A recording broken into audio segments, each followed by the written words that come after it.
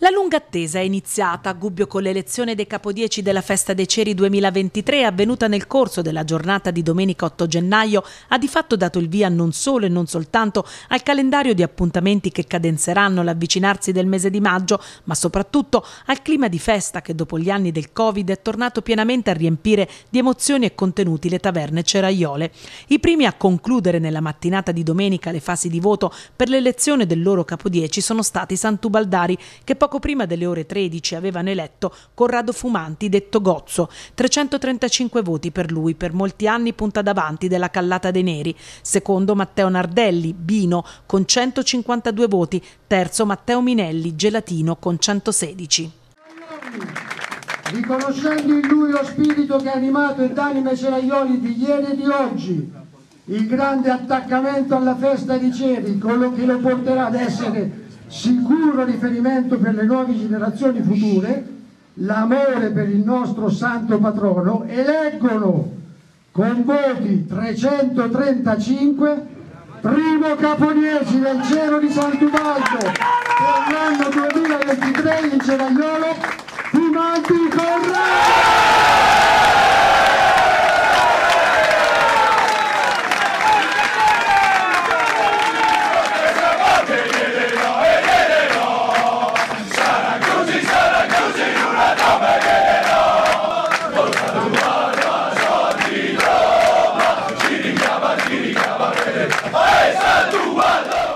Tanti voti, quindi tanti amici che ti sono stati vicino.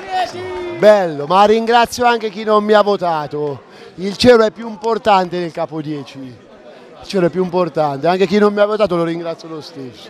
E da oggi comincia il conto alla rovescia per il 15 marzo. Certo, ci prepariamo come sempre per la corsa. Era passata poco meno di mezz'ora quando sono stati i ceraioli di San Giorgio a concludere le fasi di voto acclamando come capodieci Euro Bellucci detto Bomber. Per lui, appartenente alla manicchia di Padule, già ceppo davanti della Muta dei Meli, 390 voti, seguito da Alessandro Bocci con 380 e Federico Brunetti 109, 922 i votanti totali. Totale voti 922 con 390 voti, viene eletto capo 10 2023 Bellucci Euro!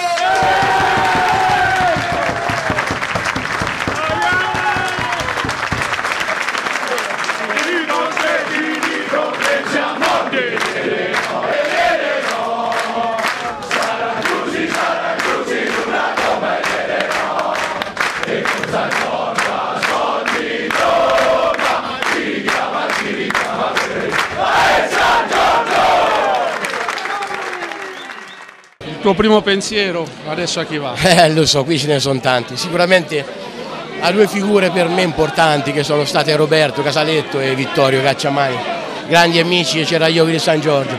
Questo poteva essere veramente un giorno da vivere con loro, però dai, andiamo avanti. Certo, un pensiero anche per Alessandro e Federico, è stata certo, una bella lotta ovviamente. Noi abbiamo condiviso questo, questo percorso, l'abbiamo condiviso in maniera leale e, e, e, e ci siamo sempre rispettati tutti e tre, quindi è una grande soddisfazione, adesso devo andare a un abbraccio anche da loro perché preso dall'emozione so sono un pochino sparito, scusate. Si è dovuto attendere il secondo pomeriggio di domenica per conoscere il terzo capo 10. I ceraioli di Sant'Antonio hanno vissuto in fase di spoglio un adrenalinico testa a testa tra due dei candidati. Alla fine, in Camera più voti, Riccardo Martiri, della muta di Santa Maria, 310 per lui, che stacca di una sola unità Stefano Marinelli Andreoli, giunto a 309 preferenze. Chiude Michele Staffici con 190 voti totali.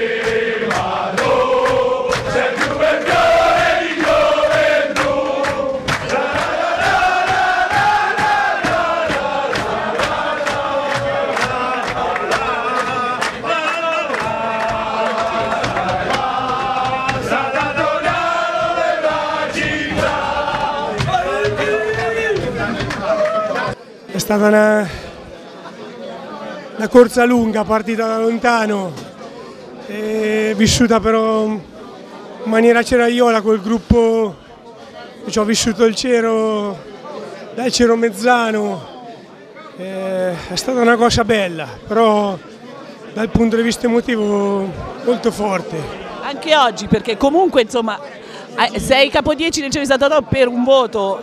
Sì sono contento ovviamente, però voglio fare un abbraccio grande, dare un abbraccio grande a Stefano, a Michele, in primis, ma a Cesare, a Giordano e a Claudio, che quest'anno hanno avuto gli attributi di mettersi in gioco come me, per una cosa bella, che, che è importante, che, che ci piace, che ha dei valori grossi. E non abbiamo avuto paura, ci siamo confrontati e penso che c'è stato un clima giusto e sono contento un bel po'. Primo appuntamento del calendario ceraiolo il prossimo 17 gennaio per la festa di Sant'Antonio Abate, prima di lasciare il posto all'euforia dei veglioni il 4, 11 e 18 febbraio che accompagnerà la fine dell'inverno.